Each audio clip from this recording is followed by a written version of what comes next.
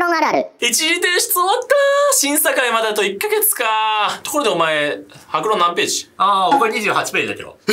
少な。俺110ページ。は？おお、はい、よろしくお願いします。白崎さのりです。それでは、 Irreducible Module Decompositions of